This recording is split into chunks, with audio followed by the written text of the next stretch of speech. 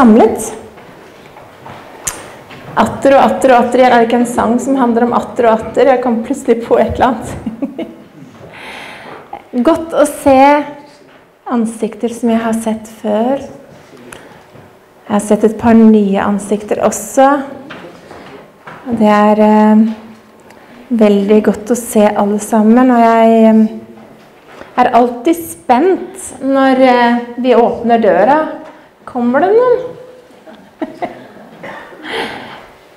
Fordi vi stoler på at Gud drar mennesker. Men allikevel så er det så mye som vi er opptatt av. Og det er så mange ting som bare plutselig kommer i veien som vi ikke kan rå over. Eh, og så en er alltid spent. Kommer det noen? Og så kommer det som tenker Kommer den? Og kommer den? Og, og når vi ser ansiktene, så er det sånn Ja! Og så glemmer vi oss bort, og så gir vi store klemmer. Veldig godt eh, å ha med så mange hit denne gangen. Jeg skryter av Mosjøen. Og folk vil veldig gjerne komme. Ehm, det har skjedd mye her. Fra første gangen jeg kom hit, og sikkert mye før det òg, men ut ifra min erfaring så har det skjedd veldig mye her. Mange har blitt helbreda, eh, fått eh, oppleve nye ting med Gud. Fått nådegaver, blitt døpt i Den hellige ånd.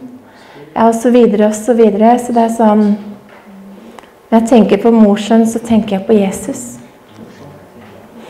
For jeg ser Jesus er aktiv og levende midt iblant oss. Så vi har en hel helg foran oss for dere som orker å ha litt kondisjon, møtekondisjon. Så er det jo møter, det er to møter i morgen, og det er to på søndag. Men nå er vi her, og det er fredag kveld.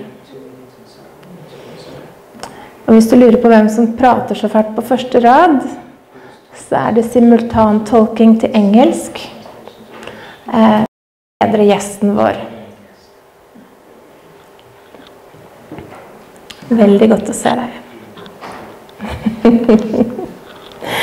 Det var så at det klaffa akkurat at eh, denne damen er her akkurat nå. Eh, nå er jo da kommet i forbindelse med familie. Og vi fikk møte en annen gang som vi var her, og da klaffa det akkurat. Så det er vel Gud som har ordna det. Ja.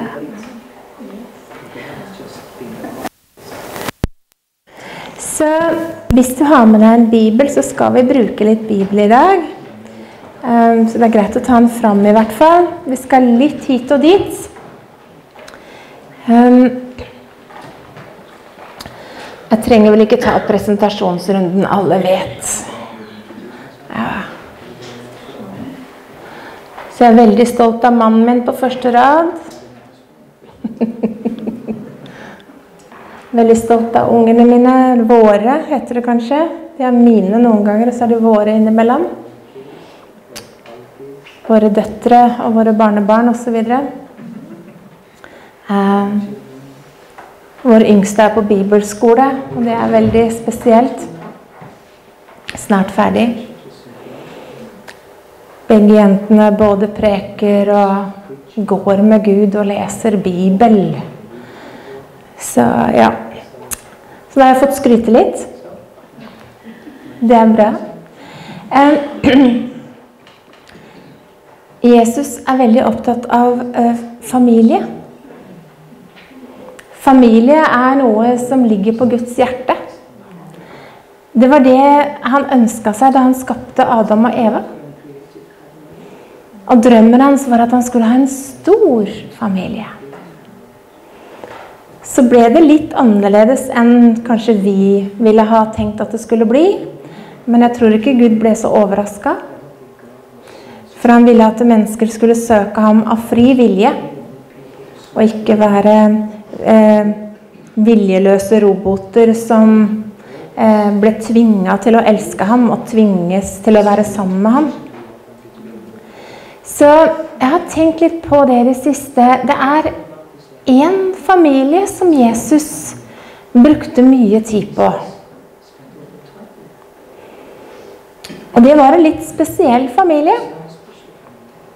Denne familien eh, den, eh, den består av eh, en pappa som het Simon, som hadde vært spedalsk. De bodde i en by som egentlig på norsk oversettes som Fattighuset.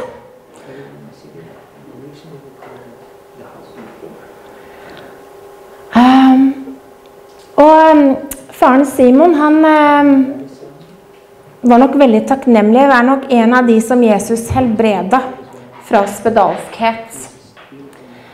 Og ingen ville sette sine fot altså Ikke fariseerne og de skriftlærde ville selvfølgelig ikke besøke ham fordi han hadde vært en spedalsk, eller fordi han hadde et sånt rykte. Så han var ikke populær iblant de høye klassene. Men hos Jesus var han populær.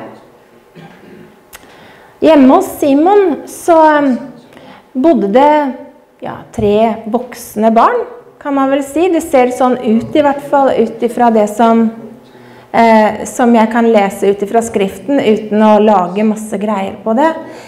Det bodde to kvinner der, og det bodde en sønn der. Og hvis du nå har begynt å tenke 'hvor er det vi er hen i Bibelen', så snakker jeg om Lasarus og Maria og Martha. Denne familien var Jesus opptatt av. Det står et sted at eh, Jesus elska Lasarus. Han var en av de som Jesus elska. Vi tenkte Johannes er jo han som Den disippelen som Jesus elsket, ikke sant? Men Jesus elska Lasarus, og vi vet ikke når han egentlig møtte Lasarus, når de egentlig ble venner. Men hvis vi går da til Lukas evangelium, kapittel eh, 10 Så får vi lov å møte disse søstrene, da. Martha og Maria. Du har sikkert lest det mange ganger.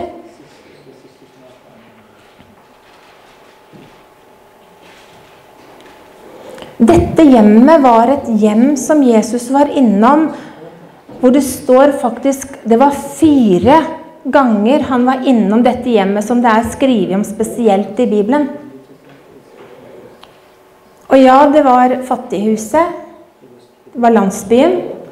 Stedet var Betania.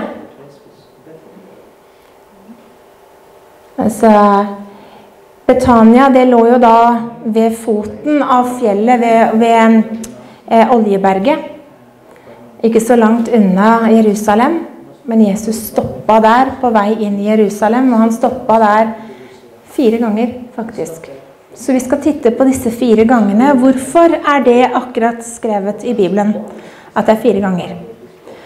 Eh, om vi greier å komme til bunns i det, det veit jeg ikke, men jeg syns det er interessant at, Jesus, at det, akkurat dette er skrevet i Bibelen. Han var jo innom mange steder. Så vi skal lese i Lukas kapittel 10 fra vers 38 i Jesu navn. Mens de var på vandring, kom han inn i en landsby, og en kvinne ved navn Martha tok imot ham i sitt hus. Hun hadde en søster som heter Maria, og hun satte seg ved Jesu føtter og lyttet til hans ord. Men Martha var travelt opptatt med alt som skulle stelles i stand, og hun gikk da bort til dem og sa, 'Herre, bryr du deg ikke om at søsteren min har latt meg bli alene med å tjene deg?' 'Si da til henne at hun skal hjelpe meg.' Men Herren svarte og sa til henne, 'Martha, Martha, du gjør deg strev og uro med mange ting.' Men ett er nødvendig. Maria har valgt den gode del, som ikke skal bli tatt fra henne. Og Dette har vi lest mange ganger, og det er ikke så lenge siden jeg prekte over akkurat dette her skriftstedet her. Men um, altså, det, dette hjemmet var jo da i Betania, sant? Og eh, når Jesus kommer inn her, så det, det Det ser ikke ut som det er første gangen han kommer dit. Men vi plutselig så befinner vi oss midt inne i hjemmet til Martha og Maria. Hvor Lasarus er hen, det vet vi ikke. Det står ikke der. Kanskje han er ute og jobber eller et eller annet. Men i hvert fall Så, så, så eh, Martha er jo Hun åpner døra og slipper jo Jesus inn. Og er veldig velkommen, Jesus. Vær så god, sitt. Du kan få den beste stolen. Og plasserer eh, han og, og sånn. Men så går hun fra han og gjør sine egne ting. Og Jesus sitter jo der og venter. Ja. ja, men du slapp meg inn, skal vi ikke snakke sammen? Og Martha er jo opptatt av at du skal gjøre alt dette fantastiske du skal gjøre for Jesus, mens han sitter jo der og venter. Ja, men vi må gjøre det, og vi må gjøre det, og det, og det, og det, og alt sånn. Og det er jo en god ting. Det er jo en veldig god ting. Hun ønsker å tjene ham og gjøre alt bra for ham. Men hun har jo sluppet han inn, og så satt han fra seg og gått for å gjøre andre ting. Og jeg tenker, Hvor ofte gjør ikke vi det? Vi slipper han inn i livet, og så blir han plassert på en fin stol. Men han får ikke all vår oppmerksomhet. Det er alle disse tingene vi gjør som får Å, ja, men så, å jeg har jo laga så fin mat, og jeg har jo vaska gulvet, og jeg har jo gjort alt dette her. Jesus, du må jo være fornøyd. Men Jesus kom ikke for å se på husarbeid. Han kom for å tilbringe tid med de som bodde i huset. Han kom fordi han ønska å komme innom. Han ønska å stoppe der. På sin vandring så valgte han å stoppe der. Hos dem. Hvis han ikke trivdes med Martha, så hadde han kanskje ikke stoppa. Vi er liksom, vi sier 'Martha, å, Martha'. Uff, å, du er en Martha. Men i Jeg husker ikke om det er i The Message eller Amplified-utgaven, så, så, står det faktisk 'Elsker deg, Martha'. Han elska Martha òg.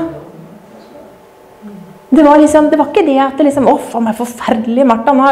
Vi er jo ute etter å finne en eller annen syndebukk med en gang. Vi er sånn, vi tenker å, vi tar Martha. La oss alle kjefte på Martha, for hun er så umulig. Vi er ute etter en eller annen som har gjort noe feil. Men Jesus sier 'elsker den Martha'. Ja. Så det var liksom, men, men, det handler om prioriteringer. Når endelig Jesus er på besøk. Hva er prioriteringa? Hva er hva, hva, hva er først? Hva, hva, står først? Hva er, hva er eh, altså, det, er, det, er, noe med det at når han, når han, når han gjester ditt hus han gjester ditt hjem, ditt, altså ditt, din, din, tilværelse. Han kommer inn i det rommet du er i.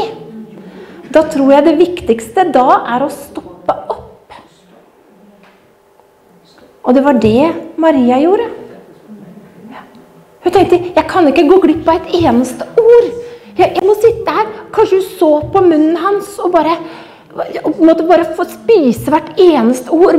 Han er her. Læremesteren har stoppa i vårt hjem. Jeg vil bare være her. Har, alt husarbeid kan vente. Jesus er her. Og altfor ofte så er det sånn på møter, merker jeg da, og jeg veit hvordan det er. Eh, men altså, vi er sånn at eh, ja, Nei, vi kan ikke ha for lange møter, for jeg har jo satt på potetene. Eller jeg må rekke Farmen, eller hva det nå er for noe. Altså, Vi har våre greier. Men når Jesus er på møte, så hiv den klokka, da. Jeg kan forstå det hvis Jesus ikke er på møte. Det kan jeg forstå. At du kanskje liksom tenker ja, nei, nå er på tide å dra hjem. Men det som er litt spesielt, er jo det at det er vår oppgave å ta ham med til møtet. Det er ikke predikantens oppgave å dra Jesus ned på et eller annet vis, eller, eller lovsangerens oppdrag å dra Jesus inn i bygget. Om han bor i hjertet ditt, så blir han med deg inn. Og da er det din oppgave å slippe han løs. Om du sitter på første benk eller på bakerste. Din oppgave er å slippe Jesus løs. Jesus trivdes i det huset. Jeg har lyst til at Jesus skal trives når han gjester meg. Jeg har lyst til at han skal trives når han kommer på besøk i vårt møte. At han får all oppmerksomheten. At han får lov til å være, får lov å skinne, får lov å være den vi fester blikket på. Alt annet kan vente. Som eh, ja, Jeg er sikkert ikke den beste husmora. så tenker jeg liksom, det, altså Med husarbeid det kommer alltid, for alltid en mulighet til å gjøre det. Det forsvinner aldri. Det forsvinner liksom ikke. Uansett hvor mye du gjør det, forsvinner det ikke. Så når Jesus er virkelig altså vi, vi forstår jo at Jesus bor hos oss hele tida, men noen ganger så kan man kjenne dette nærværet. At nå er Jesus her. Og da sier Jesus, ikke sant Ett er nødvendig. Maria har valgt den gode del. Så hva velger vi? Hvilken valg gjør vi? Det er vårt valg. Jesus er til stede, men våre valg avgjør hva han kan få lov til å påvirke oss med. Da. Så det, vi, det, det. det var besøk nummer én som vi leser om i Bibelen. Og du vet at det, Jesus han dro til Jerusalem sånn Jeg tror, da i hvert fall sånn som jeg har fått, fått det for meg, så Jesus han dro til Jerusalem i hvert fall minst fire ganger i året. Og fra der hvor han bodde, så var det en fem dagers reise, altså å gå til fots. Så fem dager til Jerusalem og fem dager tilbake til Galilea, hvor han bodde, altså Kapernaum osv. Men han tok denne, for han fulgte alle høytider og alt det her, så han var i Jerusalem. Og på vei til Jerusalem fire ganger i året, så på vei til Jerusalem, så stopper han altså i dette huset. Det er det han velger. Jeg vil at han skal velge mitt hus. Jeg vil ikke gå forbi Jesus. Ikke, ikke, ikke gå til naboen. Jeg, jeg, stopp her. Jeg, jeg, jeg, har kanskje ikke den beste hagen og det fineste bordet, men stopp her. Jeg vil du skal trives her, Jesus. Når du er sliten og trøtt på din vandring, når du er på vei til et annet sted, ikke, ikke bare gå liksom innom alle andre. Stopp hos meg.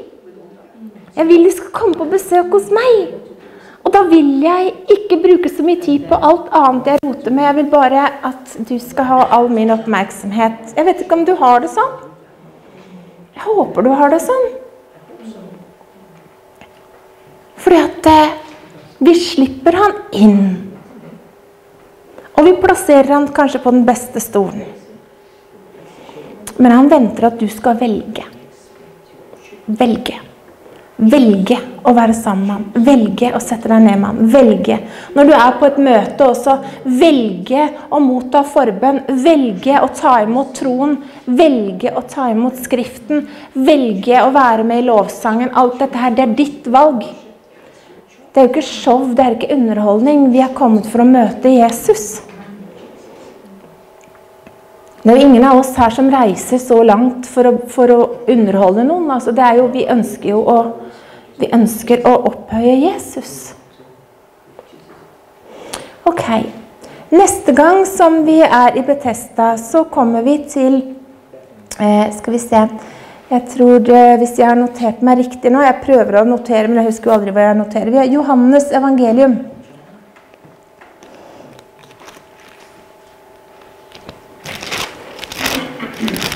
Skal vi se Jeg tror vi skal i kapittel tre. Går det bra med dere?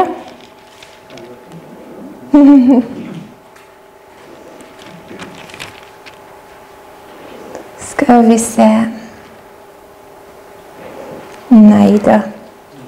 11, unnskyld, 11 og vers 3. Skal vi se. Vi kan ta egentlig fra eh, Vi tar fra vers 1b, kapittel 11 i Johannes evangelium.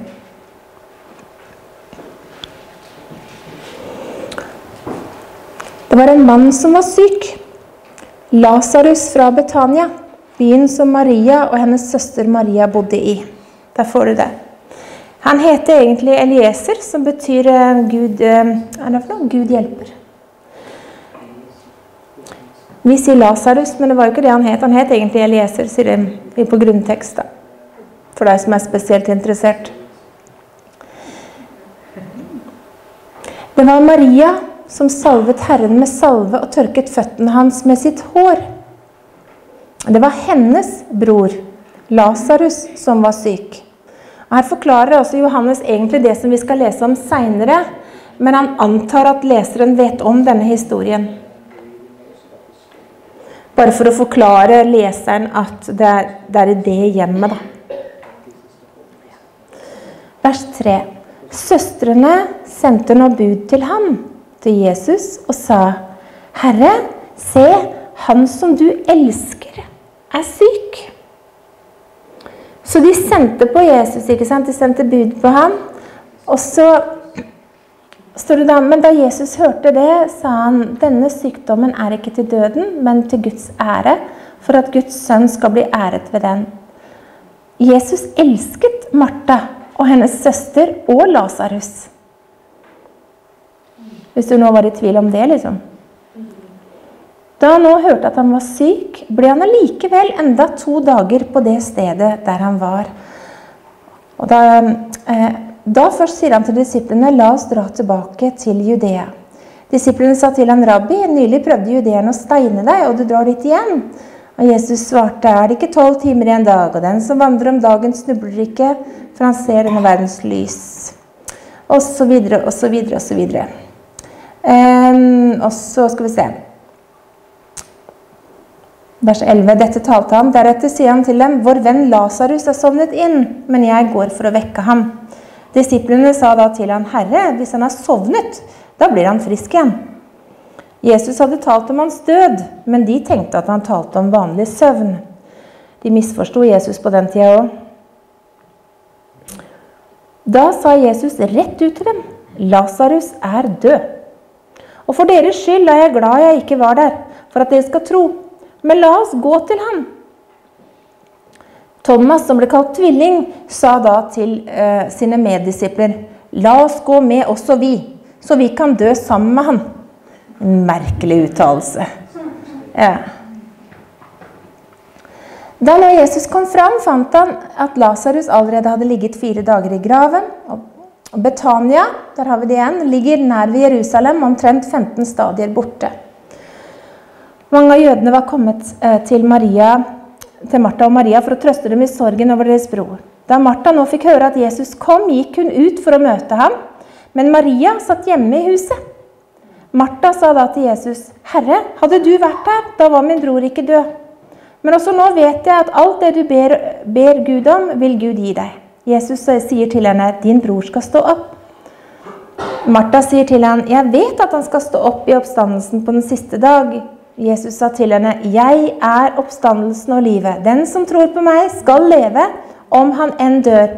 'Og hver den som lever og tror på meg, skal aldri i evighet dø.' Tror du dette? Hun sier til han, 'Ja, Herre, jeg tror du er Messias, Guds sønn, han som skal komme til verden.' Da hun hadde sagt dette, gikk hun og kalte i stillhet på sin søster Maria og sa, 'Mesteren er her og kaller på deg.' Da hun hørte det, sto hun opp, fort opp og gikk til ham. Jesus var ennå ikke kommet inn i landsbyen, men var på det stedet hvor Martha hadde møtt ham. Da nå de jødene som var hjemme hos Maria for å trøste henne, så at hun brått reiste seg og gikk ut, fulgte de etter, og de tenkte at hun ville gå til graven for å gråte der. Da Maria kom dit hvor Jesus var og fikk se ham, falt hun ned for hans føtter og sa til ham, 'Herre, hadde du vært her, da var min bror ikke død.' Da når Jesus så henne gråte, og så de jødene gråte som var kommet sammen med henne, ble han opprørt i sin ånd og rystet, og han sa, 'Hvor har dere lagt ham?' De sier til ham, 'Herre, kom og se.' Og så står det bare så vakkert 'Jesus gråt'. Jødene sa da, 'Se hvor han elsket ham'. Men noen av dem sa, 'Kunne ikke han som har åpnet den blindes øyne, også ha gjort det slik at mann, denne mannen ikke var død?' Jesus ble da igjen opprørt i sitt indre. Han kom til graven, og det var en hule, og en stein lå foran den. Og Jesus sier, 'Ta steinen bort'.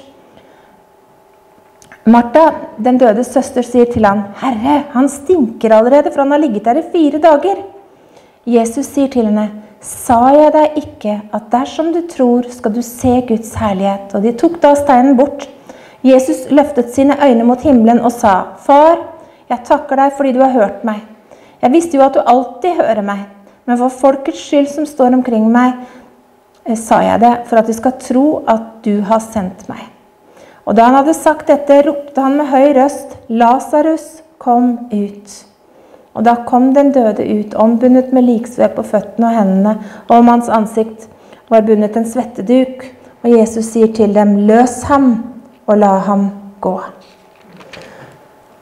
Jeg tror vi stopper der, akkurat i den. Jeg vil gjerne lese alt i sammenheng. Vi kan aldri få for mye skriftlesning i kirken. Jeg syns det er eh, mangel på ordets lesning i forkynnelsen. Så jeg tror det er viktig at vi må legge vekt på opplesningen av Skriften enda mer. For ellers så blir det fort tolkninger. Her ser vi igjen at det bekrefter dette her med at Lasarus og Maria og Martha var mennesker som Jesus elsket. Og når Lasarus ble sjuk, så kan, kan, du være helt sikker på at både Maria og Martha, de ba. Og sånn som de ba. De kjente jo Jesus. De visste jo at han var jo trofast. Han var jo den som de virkelig kunne stole på. Han, han ville jo aldri svikte. De visste jo han, Alle ble jo helbreda. Og så, og så venta så venta de, og så ba de, og så ba de enda mer, og så ba de enda mer. Og jeg kan tenke meg at Maria sikkert sa nei, Jesus han kommer, han kommer helt sikkert. Det er klart han kommer. Han elsker jo Lasarus.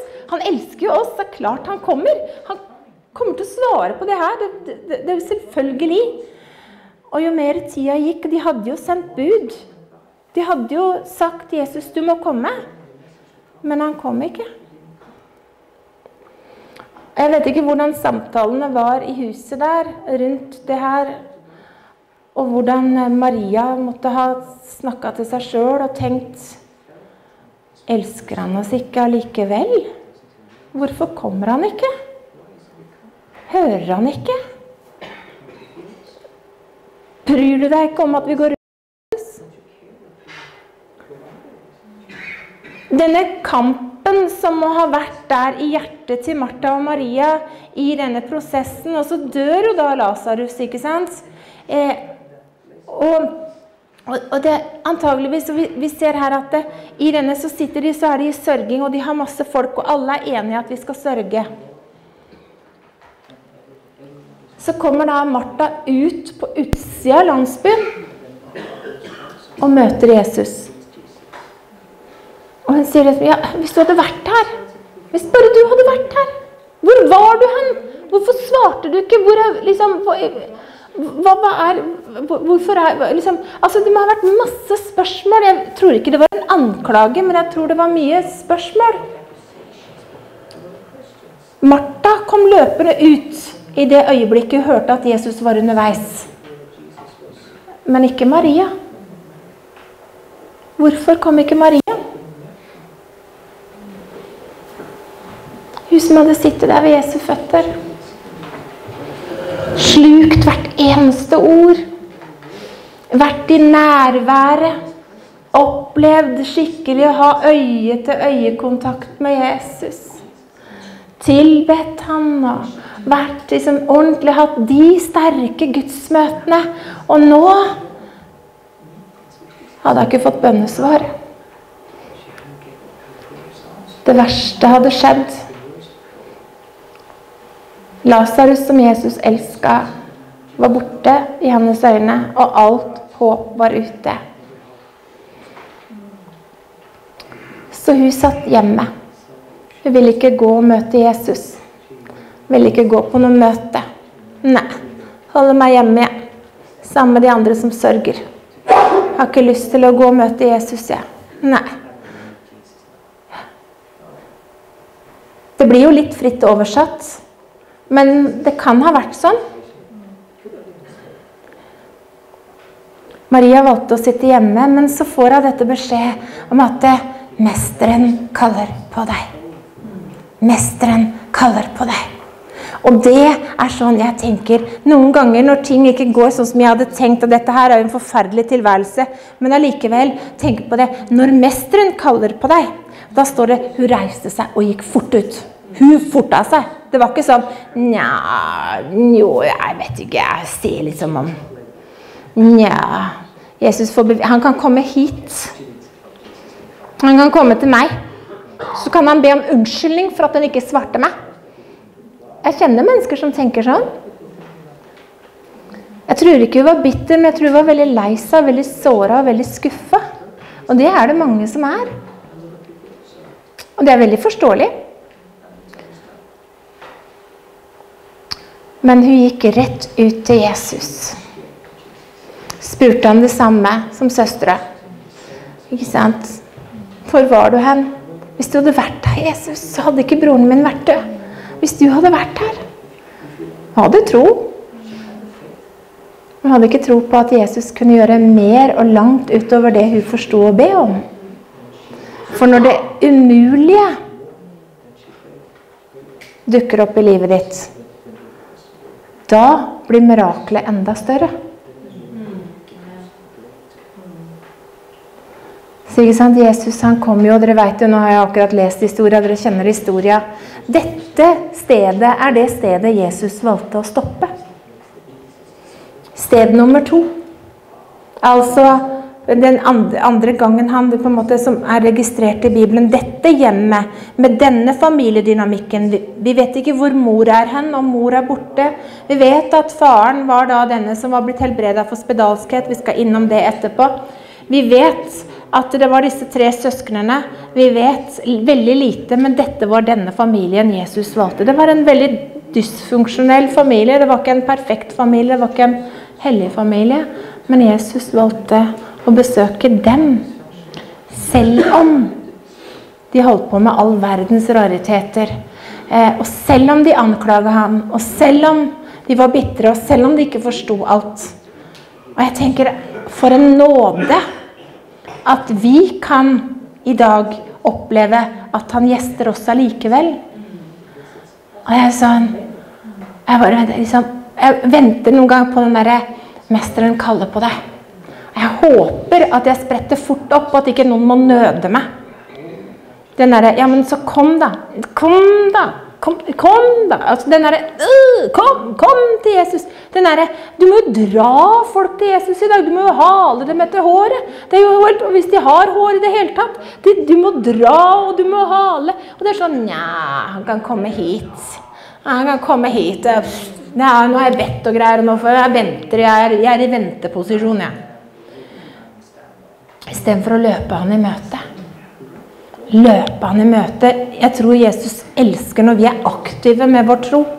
Altså vi som er en tro uten gjerninger. Altså det å være aktiv i troa. Og så sier han da, ikke sant, det her sa jeg deg ikke at dersom du tror, skal du se Guds herlighet. Og så kaller han da Lasarus ut. Og det er jo en egen preken for seg. Jeg lurer på hvordan det så ut. Veldig godt at han kalte han ved navn.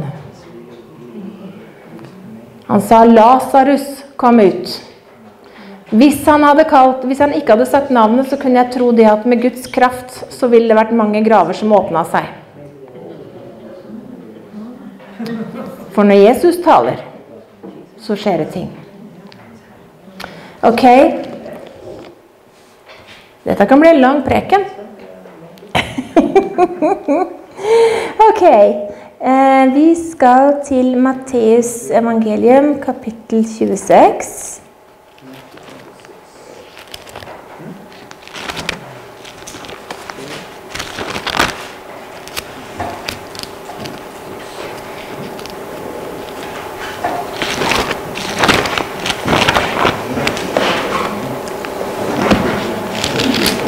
Her har vi enda en vakker historie om at Jesus er innom i Betania.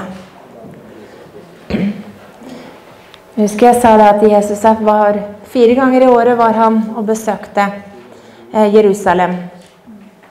Og hver gang så var det et ærend han hadde. Jeg tror ikke det var noen tilfeldighet at det var akkurat dette huset og akkurat disse historiene. Første gangen så var det tilbedelse og nærvær og alt det her. Andre gangen så var det et mirakel. Og så kommer tredje gangen. Så vi er da i Matteus 26, fra vers 6. Dette her er da ikke så lenge før Jesus blir tatt til fange og korsfesta. Men da Jesus var i Betania, i Simon den spedalskes hus, da kom en kvinne til ham med en alabasterkrukke full av kostbar salve, og den helte hun ut over hans hode mens han lå til bords. Men da disiplene så det, ble de harme og sa, hva skal denne sløsingen tjene til? Salven kunne jo vært solgt for mange penger og gitt til de fattige. Men da Jesus merket det, sa han til dem, 'Hvorfor gjør dere det vanskelig for kvinnen?' 'Det er en god gjerning hun har gjort mot meg.' 'De fattige har dere alltid hos dere, men meg har dere ikke alltid.' For da hun helte denne salven utover mitt legeme, gjorde hun meg i stand til min gravferd. Sannelig sier jeg dere, hvor som helst i hele verden dette evangeliet blir forkynt, skal også det hun gjorde, fortelles til minne om henne. Denne historien er jo beskrevet i, både i Matteus og i Markus og i Johannes. Og dette er da Maria, søstera til Martha, som gjør det her. Og de har et stort gjestebud. Pappaen Simon, som var blitt eh, helbreda. De var faktisk, selv om de bodde i, i, i Betania, som egentlig var fattighuset eh, Altså byen, navnet betyr fattighuset, så var disse menneskene ganske velholdne når de kunne ha et sånn type selskap. Så de hadde da Jesus til bords. Og så kommer Maria inn og avbryter dette selskapet. Jeg skal bare stoppe veldig fort for deg som ikke har um, på en måte fått med deg det at jeg, stopp, at jeg tok ikke med meg Lukas evangelium. Det står der om kvinnen som salva Jesus, men det er ikke den samme dama. For henne som det står om i Lukas, det var en synderinne som kom inn fra gata hjemme hos farisere. Farisere ville aldri noensinne besøkt Simon den spedalskes hus. Så dette er to separate eh, episoder. Så den du leser om i eh, så kan du si, Den vi leser om nå, Maria, var ingen synderinne. Hun var ingen synderinne. Og det som var så flott med den andre synderinna, hun var jo ikke det lenger etter at hun hadde salva Jesus. Jesus forvandler liv. Men uansett, så de er en velholden familie. Og hun tar det mest kostbare hun kan finne. Hun tar denne salven, som er da en nardussalve. Hun tar den, og den er verdt like mye som en årslønn. Så kan du sjøl tenke deg hva en årslønn ville være for deg. Den verdien den tar hun, og så sløser hun på Jesus. Hun tar hele denne flaska og knuser den og bare salver Jesus. Hele kroppen hans, altså hodet, alt sammen. Det blir bare helt utover hele han. Og Jesus han sier sjøl at 'du har salva meg til gravferden'. Og den lukta står at hele duften bare fylte hele rommet. Tilbedelse endrer atmosfære. Det vil alltid endre atmosfæren i et rom, uansett. Uansett hvor mørkt det er, hvor vanskelig det er, hvor depressivt det er. Tilbedelse vil alltid endre, endre omgivelsene. Det vil alltid lukte godt av tilbedelse. Men hun øste da denne tilbedelsen og sløste over Jesus. Og jeg kan lure på om seks dager seinere, da han hang på korset, om det fortsatt lukta nardussalve av ham. At han huska at han hadde vært i huset og blitt salva til sin gravferd. Jesus valgte å komme innom der. Du begynner å se tegninga mi nå, gjør du ikke det? Jesus valgte det ene stedet å besøke. Så Gud gjør ikke forskjell på folk. Hm. Hva var det som gjorde at Jesus valgte å gå dit? Hvorfor gikk han dit? Maria hun hadde denne skamløse tilbedelsen. Hun bare sløsa. Og hun gjorde jo det var helt usømmelig og forferdelig egentlig i den settingen her. Fordi at eh, hun løsna håret sitt, og det skulle man ikke gjøre. Man skulle ikke ha løst hår. Hun løsna håret sitt, og hun tok det og så tørka føttene til Jesus med sitt eget hår. Og det er så på grensa til noe som på en måte normalt sett ville blitt både sladda og sensurert i gamle dager. Det var så intimt og så tett. En kvinne skulle ikke gjøre det med en mann som ikke var gift osv. Så sånn. Det med håret og tørke. Og det med Jesus han sier at nei, ikke stopp, da. La få lov til å sløse og gjøre og helt uten skam, uten deres tanker i hodet om hvordan ting foregår. Uten at det, vi skal ha masse fordommer og ting og tang. La få lov til å gjøre dette uten at dere har skitne tanker. La henne få lov å tilbe sånn som hun kjenner er naturlig for henne. La få lov til å gjøre det her og utøse sin kjærlighet på den måten hun trenger å gjøre det. Disiplene kritiserte. De som fulgte han, som hadde sett han, hadde gått sammen i tre år, de kritiserte. Hva kritiserte de? Jo, de kritiserte tilbedelsen.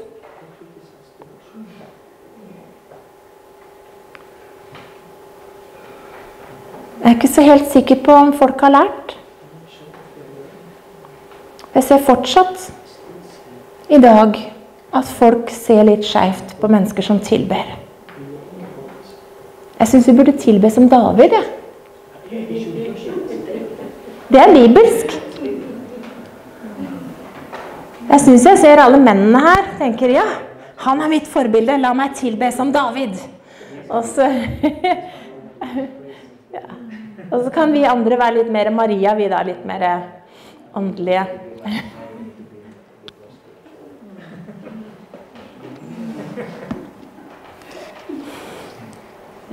Får du noe ut av det her? Hallo, er du her, eller har du gått hjem? Mm. Ok. Jeg kunne sikkert ha stoppa ved hver eneste, men jeg tenker dette her med at eh, Min lengsel er at jeg skal være en landingplass for ham. Han skal trives i mitt selskap. Jeg vil at han skal trives i vårt selskap, og jeg vil at vi skal tilrettelegge, selv om vi ikke er perfekte. At han skal få lov til å kjenne at det her er et sted, altså et sånt sted hvor han kan bare lande og være seg sjøl. Han kan få lov til å bare være der og trives og være sammen med oss og være sin eh, person og bare uten noe som helst fordommer eller noe som helst. Og jeg har så lyst til at det skal være sånn i Guds forsamling. Tenk om vi kunne ha det sånn i Guds forsamling at det var en, hvor Jesus trives. Ikke hvor han trengte å sitte med en pekefinger og, og, og, refse hele gjengen, men at han rett og slett bare trives. Hvor vi bare er naturlige, da. Så lurer du kanskje på den siste, den fjerde. Skal du ha med deg den nå?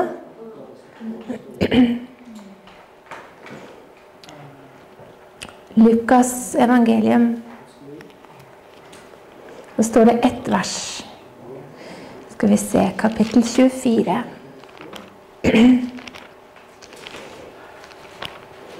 Jeg skal ikke lage en lære ut av det, men jeg vet i hvert fall hva det står akkurat her.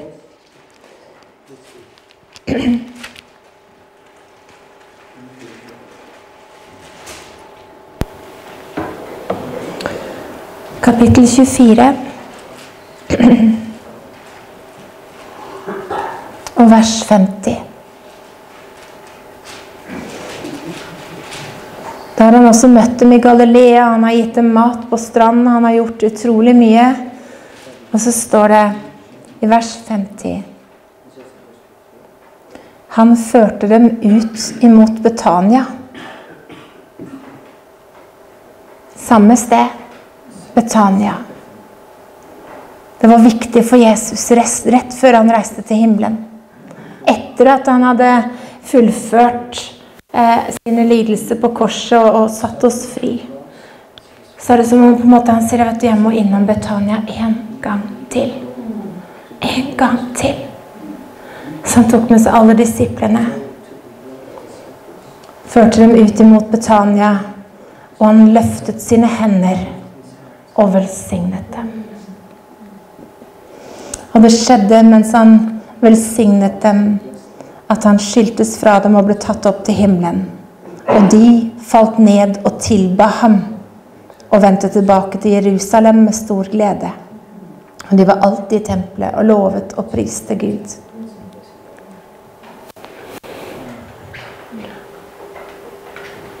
Dette å være innom et viktig sted var så viktig for Jesus. Jeg tenker, Han hadde så mye å gjøre. Han skulle reise. Men han sa vi må innom Betania en gang til. Bare en gang til. Og det står ikke at Maria og Martha og Lasarus og Simon var der. Men jeg tror de var der. Jeg tror de var til stede.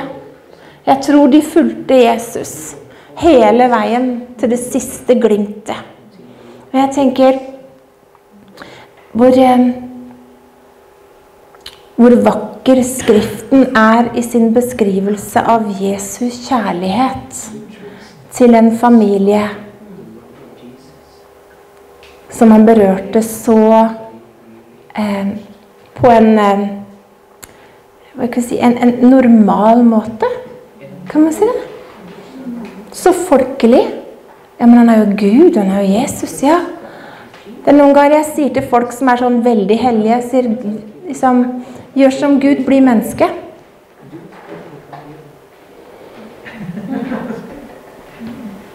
Jesus spiste, og han drakk, og han satt sammen med folk. Han, han altså kan si, Jeg vet ikke om du kanskje kan bli veldig overraska over det, men Jesus gikk på do, og han faktisk. Han måtte bade og stelle seg, og kanskje jeg vet ikke om han greide håret, men han hadde ikke dreads, tror jeg. så...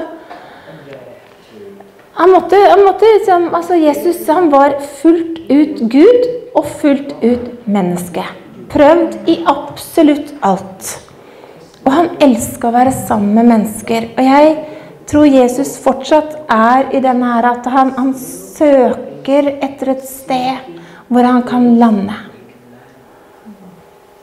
På engelsk heter det 'a dwelling place'. Ikke sant? Abide with me. Altså, bli her hos meg. Vær her hos meg. Ta dette øyeblikket. Bruk det. Ikke løp videre i hverdagen. Og Det er sånn jeg tenker når vi skal samles denne helga og, og vi skal be for og med hverandre. Det er sånn, La det være Jesus som er ditt fokus. La det være at du er desperat nok til å få dette øyeblikket. Så Jesus, Besøk meg. Jeg trenger et besøk av deg. Jeg trenger at du gjester mitt hus. Jeg trenger at du vasker mine føtter. Jeg trenger at du kommer og besøker mitt liv. For jeg trenger at du er sentrum i mitt liv. For når han er sentrum, da forløses lovprisningen. Du klarer ikke la være. Det er noe i deg som bare Du klarer ikke la være å si takk. Jeg elsker deg, Jesus. Jeg, jeg vil gi deg alt. Jeg vil, jeg vil, vil så gjerne Uansett hva jeg har, uansett, så er det sånn Du blir ikke gjerrig når du er sammen med Jesus. Det bare utløser Kanskje det er derfor mange ikke har lyst til å være sammen med Jesus, fordi de er redd for å miste alt. For du blir gavmild, og du blir raus. Og du øser på Jesus, og, så, og det gjør noe med deg fordi at du øser på alle andre rundt omkring òg. Det skaper, det kan forvandle ditt hjem, ditt nabolag, din landsby, ditt distrikt. Det kan forvandle Mosjøen. Det er sånn, Jesus Når du er på vandring her, stopp i Mosjøen. Vi ønsker å ha deg her. Vi ønsker, ønsker deg velkommen. Bli her. Bli med oss stund. Sånn som Emmaus-vandrerne de sa, brant ikke våre hjerter da vi gikk sammen. Det er når vi går sammen med han, når vi er sammen, da er hjertet brennende. Når vi ikke er det, så blir det lunkent. Det står ikke så veldig mye videre. Jeg hadde tenkt at det kanskje sto mer om denne familien i apostlenes gjerninger osv. Men de vandrer på en måte bare inn i historien som et utrolig bilde på det at Jesus han er opptatt av familie. Han er opptatt av å komme og ta vare på den enkelte og til å redde dagen. Og det er sånn mm, Jeg vet ikke helt hvordan jeg på en måte skal lande det her, men jeg, jeg, jeg ønsker at uh, du sjøl skal få en lengsel etter at det, liksom, Jesus rydd, rydd vei Rydd en vei i mitt hjerte, rydd en vei sånn at det, at det er en landingsplass. Liksom, få vekk skrotet i hjertet mitt og få vekk alt, sånn at det er rent nok her til at du kan sette beina dine her. Rens opp du, Jesus, for jeg klarer ikke. Men, men liksom, altså, skap i meg et rent hjerte. Skap meg et rent hjerte, så du har et sted hvor du kan lande og bli og bli værende. Jeg er sikker på det at når Jesus var i Betania, når han gikk videre, så prøvde de å holde fast på ham. Ja, men Du må ikke gå enda, da, Jesus. Bli her litt til, da. Litt til, da. Ja, men jeg har ting å gjøre. Ja, men litt til. Litt til. Bare litt til. Og hvis du har det ropet i hjertet ditt til enhver tid, når du er i forbønn, når du er i bønn, når du er i tilbedelse, alt det at du tenker Jesus, bare, bare litt til. Bare, bare litt til. Kan vi bare være sammen litt grann til? Ikke, ikke løp ut i hverdagen så fort.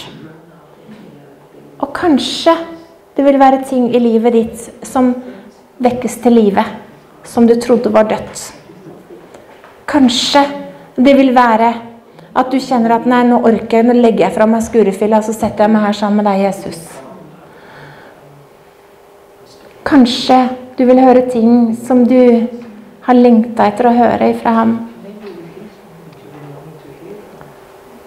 Ett er nødvendig. Ett er nødvendig. Hun valgte den gode del. Hun valgte det. Og det er liksom sånn tanken her Hva velger jeg? Hva velger vi? Vi representerer forskjellige menigheter og alt. Hva velger vi? Hva velger du? Hva velger jeg? Og jeg håper virkelig at du velger at Jesus må få lov til å være hedersgjesten i ditt hjem, i din kropp, i ditt liv, i din tilværelse. At han alltid må ha mer oppmerksomhet enn alt det du skal gjøre. Alt det andre kan vente, som Jesus sa. De fattige har dere alltid hos dere. Ja. Men akkurat nå er det tilbedelse som gjelder. For de sa ja, kunne vi ikke brukt de pengene der sånn til noe annet, da? Kunne vi ikke liksom, Hvorfor skal du sløse på Jesus? Men Jesus han sa bare vet du, alt det andre, det har du alltid. Men nå dette er noe som jeg vil at dere skal huske for evig tid, til lærdom. Sant? Ja. Skal vi be sammen?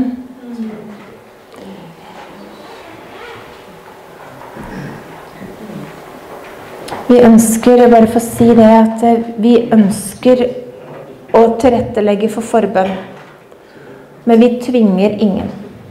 Du må sjøl kjenne at du ønsker å ha motta forbønn osv. Jeg orker ikke å stå her og mase på deg. Liksom, Hvis du ønsker å ha forbønn og et møte med Jesus, så må du ta noen valg sjøl. Jeg sier det så enkelt. Eh, og så ser vi hva som skjer i ettermøtet her. Men eh, vi skal be sammen. Jeg synes, eh, Som for enkelhets så syns jeg dere skal reise dere, for kongen er her.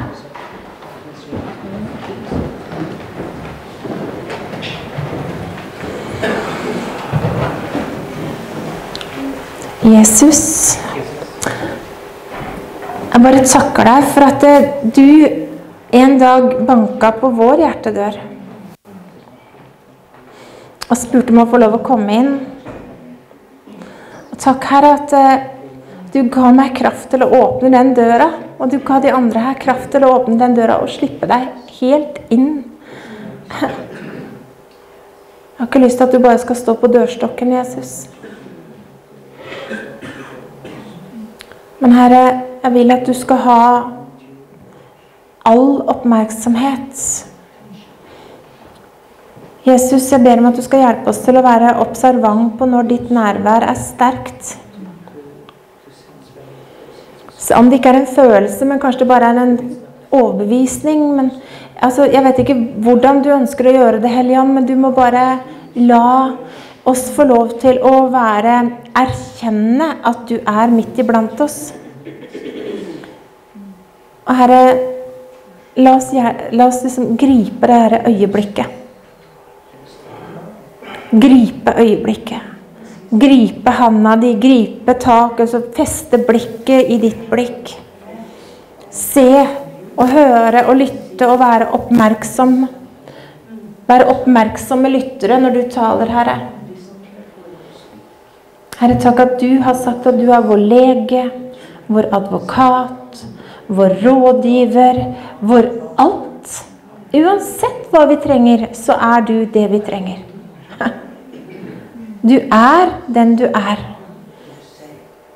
Og Herre, hjelp oss å gripe øyeblikket nå. Og la deg få lov til å berøre oss sånn som du vil. Og så ber jeg Herre om at du bare forløser i oss alle sammen en dypere, sterkere lovprisning. Uten skam. Uten å spørre naboen, uten å spørre mann eller venner eller hva. La det være en frihet til å sløse med tid og tilbedelse på deg, Herre. Takk, Herre, for åpenbaringens ånd. Må du åpenbare deg for oss mektig, Jesus. Hellige Ånd, jeg ber om at du skal salve øya våre og øra våre og hjertet og alt, sånn at vi virkelig kan få se sannheten. Så ber jeg Herre om at eh, alt av lenker og bånd, alle hindringer, alt som står i veien for det du ønsker å gjøre, Jesus, jeg bare ber om at blodets kraft skal knuse enhver motstand imot din kjærlighet. Jeg ber Herre om at du skal komme som et stormvær over oss og fylle oss med din kjærlighet, ditt nærvær. Må du innta plassen på tronen i vårt hjerte. All vår oppmerksomhet på deg, Herre. Takk, Jesus, at du er her, midt iblant oss. Så ha du din vei, Gud. Ha du din vei.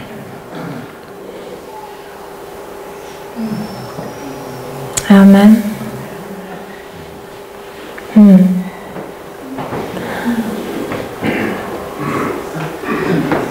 Takk, Jesus.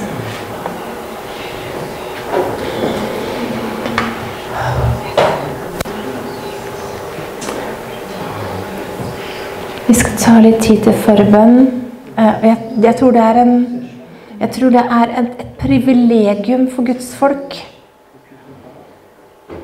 Jeg, jeg, tror er, jeg tror det er viktig med den omsorgen. Jeg tror det er viktig og, og ingen, ingen, Den som ber for deg, er ikke din kilde. Jeg er ikke din kilde til noe som helst.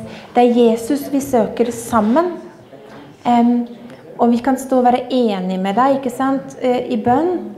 Men, men, men husk at det er Jesus som er din kilde til alle ting. Det er så utrolig viktig. Og så får vi bare se hva Jesus gjør. Ja, han bruker mennesker. Men det kan hende han har lyst til å putte noe bare rett ned i hjertet ditt, så får vi bare lov å være til stede. Sant?